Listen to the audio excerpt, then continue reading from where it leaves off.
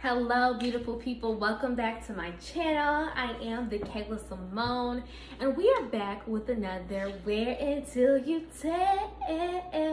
Yeah, good girl, but she bad, so I'm confused. Damn. Who are they right there? And the outfit of the day, of course, is my favorite look. You will see coming up details on the way. Make sure you like, comment, and subscribe to your girl. All bold fashion, bold lifestyle, bold living, okay? We'll look at this time once, and we're gonna do it in the boldest way possible. For all of my new visitors here, wearing to tear is one item, three ways we get you right. So today we are working with these leggings that I got from Duck Confetti black owned, period. We're heavy on the black brands over here, okay? Just to let y'all know, we'll be on. definitely check him out. Very fun pieces. As you see, these leggings, I wanted something colorful. I wanted something bold to add to my wardrobe.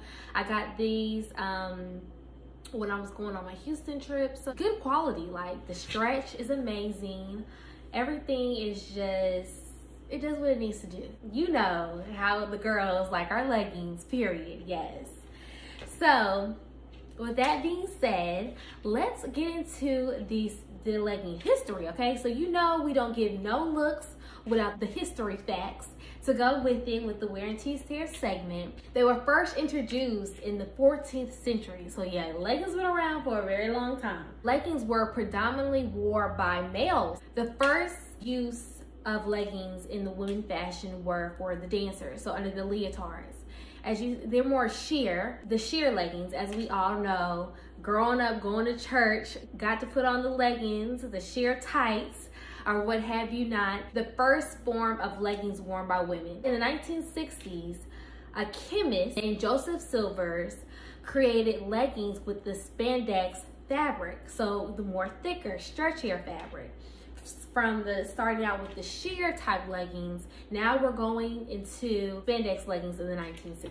So spandex is made out of the lycra fabric. That is what he invented. That. And now today, the Kayla Symone is gonna give you them three ways, okay? Quit playing with your girl and let's get into these looks. All right, afraid to push the envelope. This is you, girl, okay? And I'm gonna tell you why. So it came with a matching sheer top.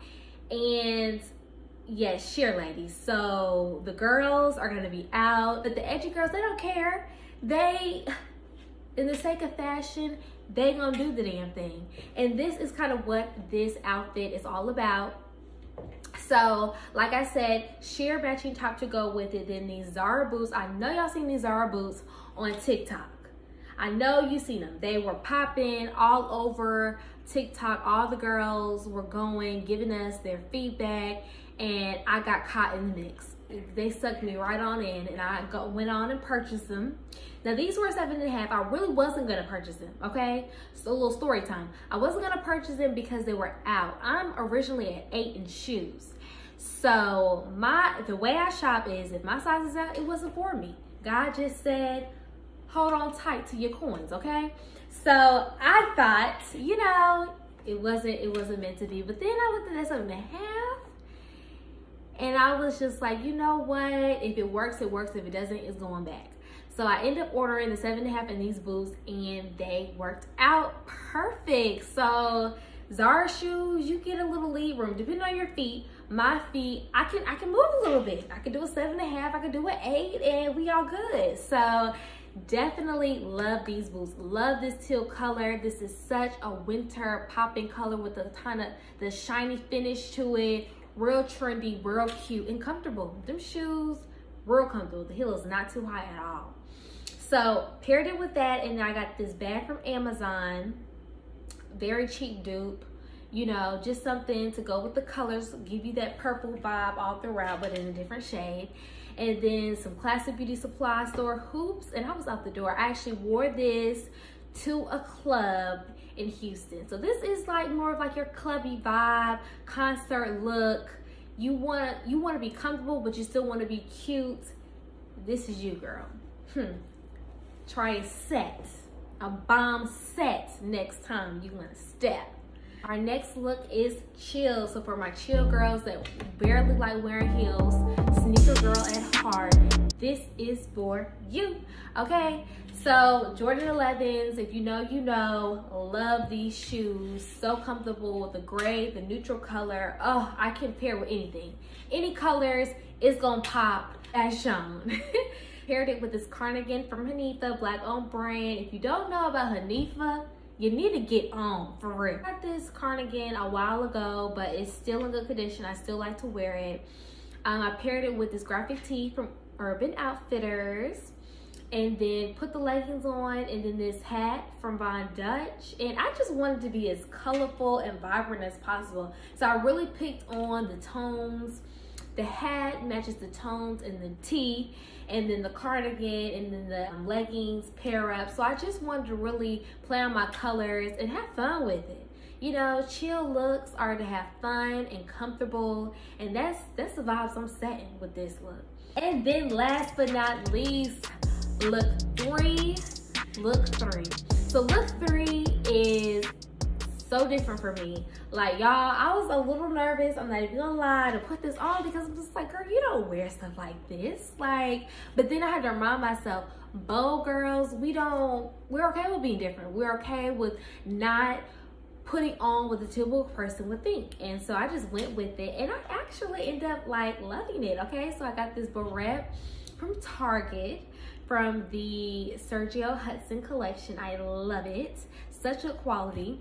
Berets are definitely one of my favorite headwear pieces to wear in the winter because it gives you that chic vibe. I got these earrings from Choked another black owned brand that I definitely would vouch for. Blazer again. Ooh, we all black brands. Quit playing with your girl with this one. Okay, so Blazer is from BBX, which is a European black owned women brand love them love this blazer. If you want something a little bit more different than a regular blazer she definitely has the details to set this blazer apart in your wardrobe okay? Great quality. Did i mention that? Okay. Make sure i said that because i'm not putting y'all on nothing cheap or nothing that ain't gonna last you okay period. And then i paired it with these denim steve madden shoes and then this ring as well as from choked actually my favorite one. Actually just look at it. So beautiful so yes, that is the vibe. So now you get my looks, you get my looks, like you know the drill. Comment below which one is your favorite look. Which one could you see yourself rocking? Which one you just like, girl, you cut up, okay? Let me know in the comments. Thank you for watching and I will see you in another Wear Until You Tear. I don't know why I think I could sing.